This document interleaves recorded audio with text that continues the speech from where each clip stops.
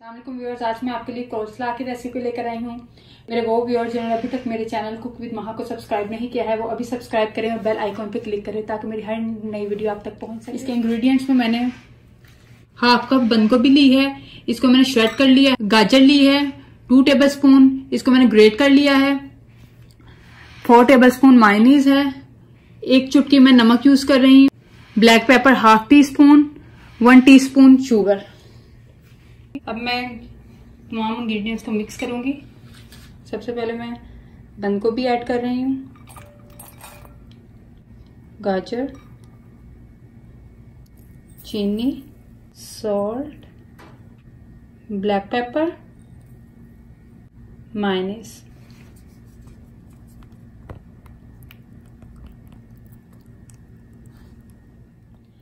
अब मैं इन तमाम इंग्रेडिएंट्स को मिक्स कर दूँगी।